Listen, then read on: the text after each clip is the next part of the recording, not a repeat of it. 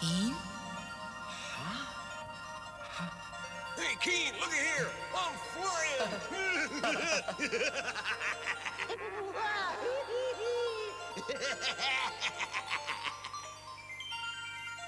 Huh?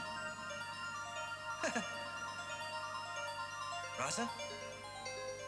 Hey, Raza. Ah. Raza?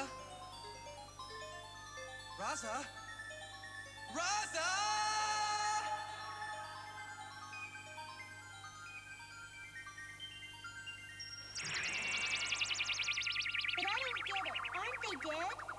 Child, if you insist on using the same terms as they do, you'll learn only as much as they. No, they did not die. Not as we think of it. They merely changed from one state of being to another. Where each one goes from this point depends on how much they learned on the planet Pandora. Where will they go?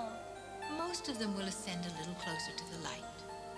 However, Raza will have to return to this continuum. Why? You know. Um, I guess because her mind didn't learn. Almost. Not quite. Huh? It wasn't her mind, but what controls her mind that didn't learn.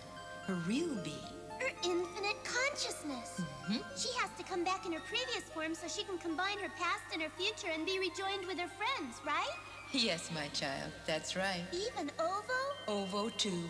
Each one determines his or her own destiny. That includes me too. Mm-hmm. Wow.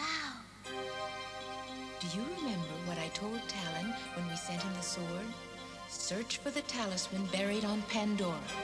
Where was that talisman? That's easy. In the underground city. No, it was buried within himself.